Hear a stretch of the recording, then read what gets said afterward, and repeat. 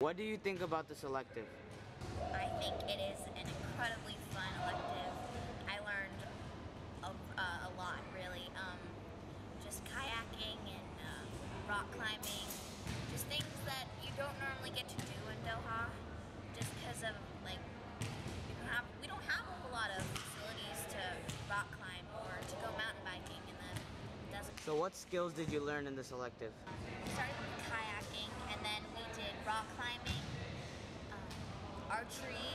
Uh, we went uh, paddleboarding in the Pearl, which was really fun.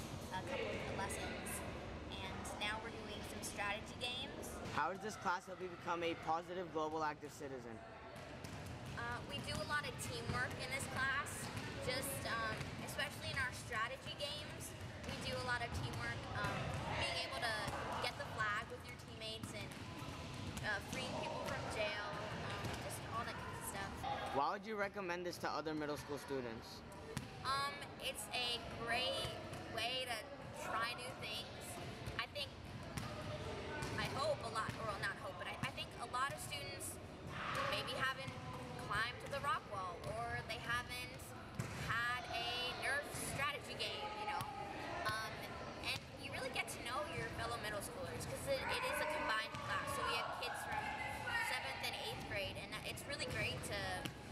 know them and play with them really.